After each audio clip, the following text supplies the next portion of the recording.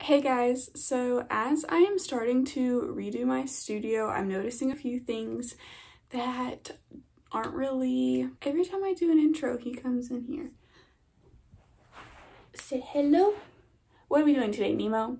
So today we are painting my electric guitar. I have a Fender Strat and the pick guard on it was yellowed just from age over time. You can tell once I take it off, the sections that were covered up by the volume and tone knobs are significantly wider than the pick guard that was showing and was exposed to sunlight and stuff and just slowly faded into this creamy yellow color and because I painted the walls white it really stood out and was bugging me so I decided to paint it. Ooh, thank you.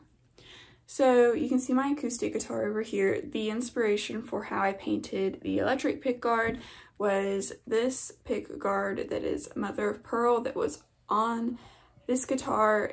Let me go get it. When I first got this guitar, it has some beautiful mother of pearl detailing up here. It's a Blue Ridge. Highly recommend for an affordable but good quality acoustic and as you can see the spray glue just kind of it just kind of fell off. So at the end of this video I am going to be putting this back on. Like look how pretty she is. I really love this mother of pearl this like bluish teal. It has so many details in it. And I wanted to do something with acrylic paint that was similar but obviously didn't have the iridescence. So I'm just gonna let it roll and then we will come back.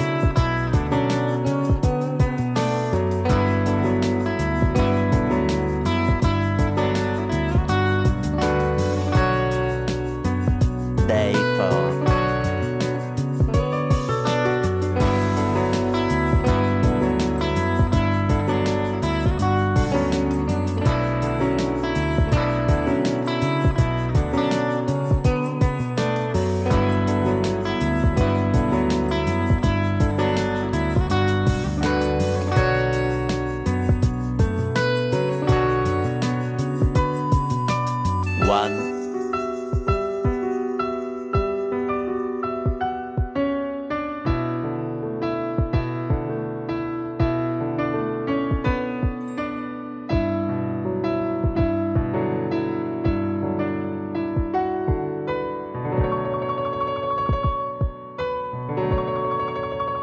one.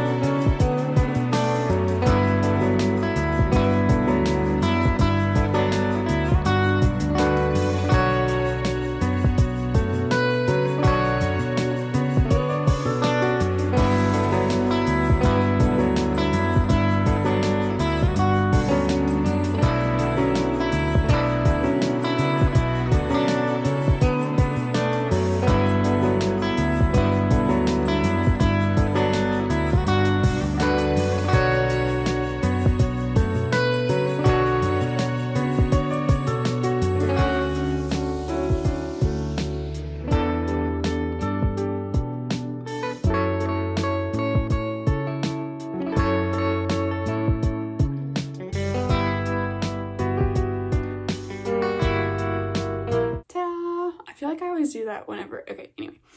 So, I have it all put back together and I am in love with how it came out. I was a little bit unsure of how that busy of a pattern would look on the dark blue.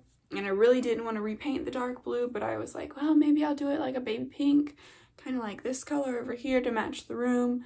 But this is how it came out. It looks so in my opinion. I really love it. And this is it next to this. Obviously, they complement each other, but it's not the same thing. I think once this is on here, ah, once this is on here, yes. Oh, it'll look so good. And they're kind of on opposite ends of the room, so it's okay. That this one is a little bit more iridescent. I wanted to clear coat this pick guard with a glittery resin to give it a little bit more of that sheen, but I got impatient and wanted to see it on there, so I just slapped it on there. I am going to Goo Gone all of this extra like spray glue residue and put this back on and put her over there and put her over there and I will show you what it all looks like. And then this is the last step in my studio makeover that I'm doing. I do have a few more things I need to do, but I will be doing those in other videos.